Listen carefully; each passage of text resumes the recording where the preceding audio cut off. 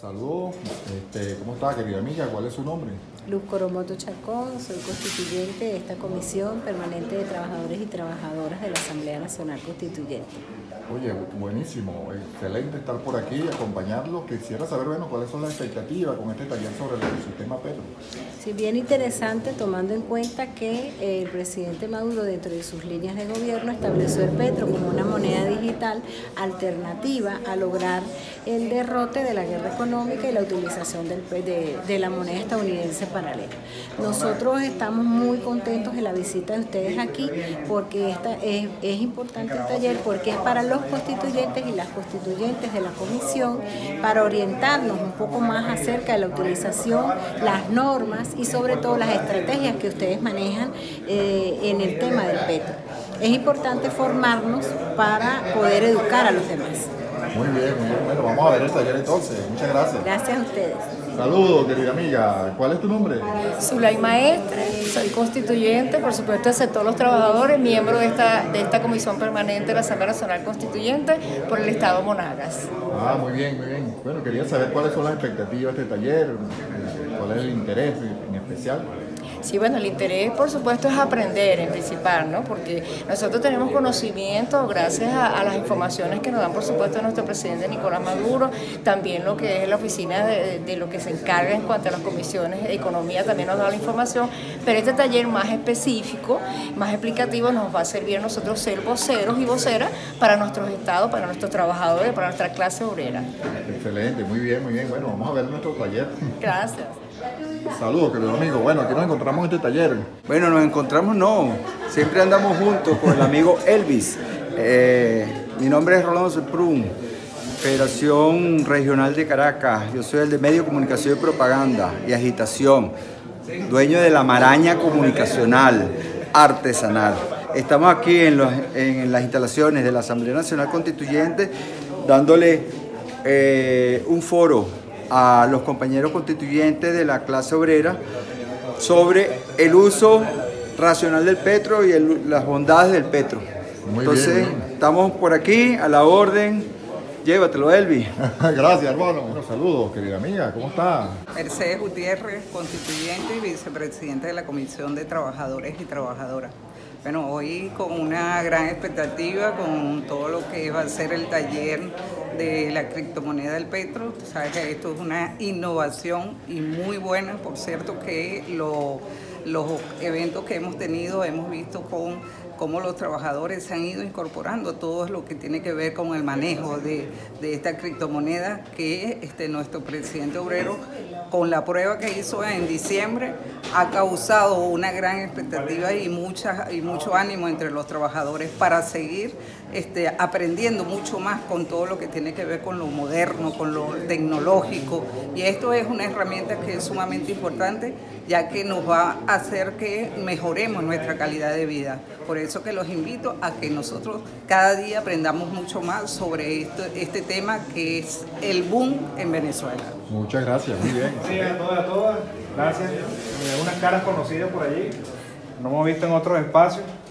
Para nosotros, desde en la cual estamos dirigiendo ahorita, nos ha tocado la tarea fundamental de, como decimos nosotros, ir evangelizando a todos los venezolanos, venezolanas y extranjeros a lo que es la propuesta disruptiva del uso de la tecnología en criptomonedas como es blockchain como tecnología y criptomonedas, Bitcoin, Petro como nuestro criptoactivo soberano. Eh, este espacio es muy importante para nosotros. Lo decíamos, que sea muy sencillo para ella porque nacimos en momentos históricos diferentes, momentos tecnológicos totalmente diferentes. Pero nosotros de la universidad hemos roto un poco el mito en lo que respecta a la adopción de la criptomoneda del petro. A que vayan y evidencien, hoy, no había tanto, pero todos los días recibimos 100, 150 pensionados, jubilados. Hemos, hemos registrado más de 2.000 personas solo de pensionados y jubilados ahí en esa agencia. Nos venía preparando para este momento. Mucha gente dice, no, pero es que el petro es muy difícil, que no sé nada de cómo voy a tener una aplicación aquí. Bueno, veamos qué pasa la parte que tengan miedo a usar la tecnología de tocar una computadora, son los que están a la vanguardia, que a veces uno dice que es la juventud. para nosotros sido los jubilados los primeros que van adelante exigiendo a que le aperturemos su cuenta.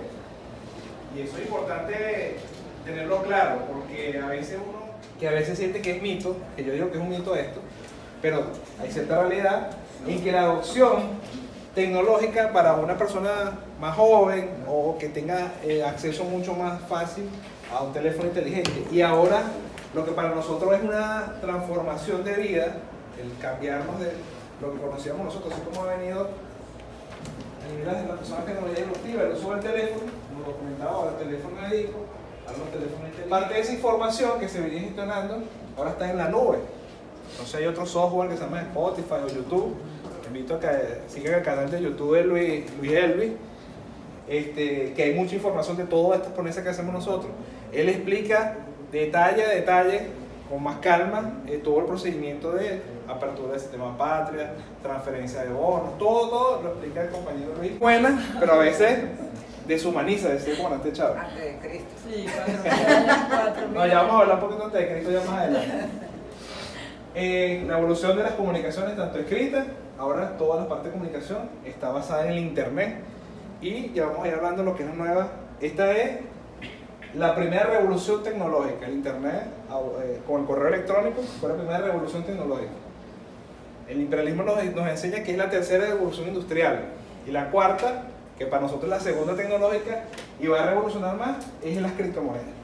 Que tiene sus secciones y les voy a dar mucha información porque todo lo que les estoy dando a ustedes son argumentos para que después ustedes vayan vanguardia con los sindicatos, los trabajadores, la misma asamblea, tengan argumentos para convencerlos a los demás. Porque producción, consumo y ahora es intercambio.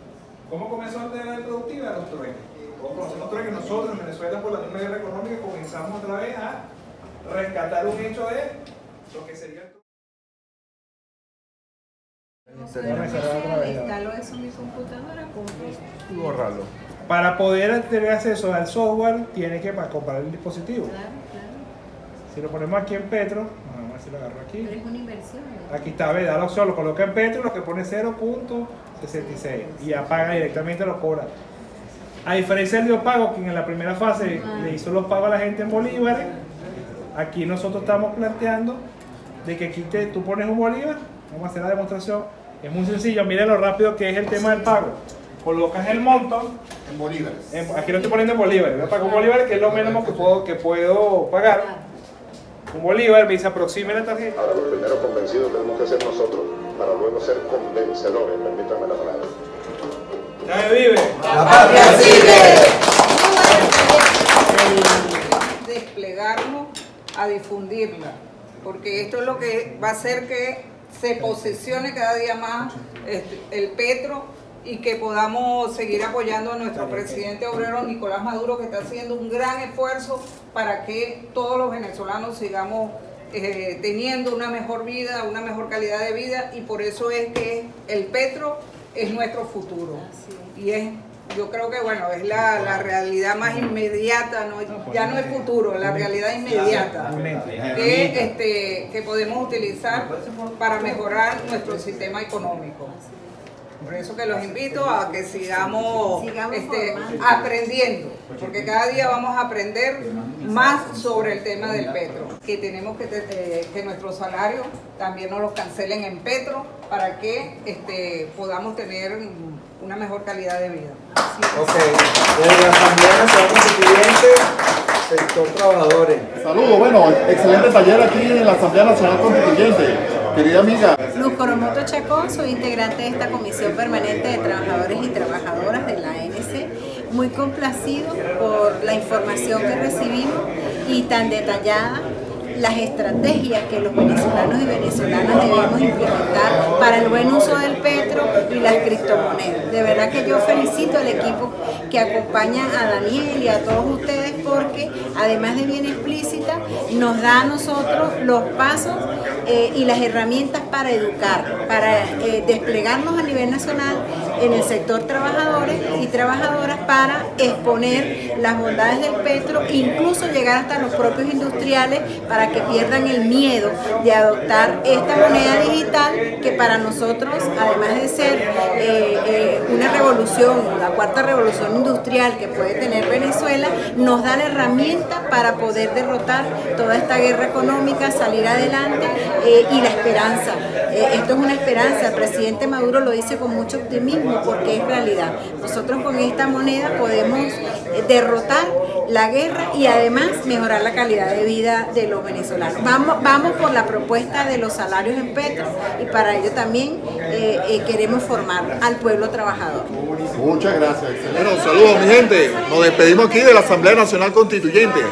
excelente taller dictado por el, el vicerrector de la UNETI, Daniel Peña importantísimo. Bueno, muy contento y esperamos que los constituyentes lleven a nuestro pueblo, aguas abajo, el conocimiento adquirido en el día de hoy. Nos despedimos entonces. Saludos, mi gente.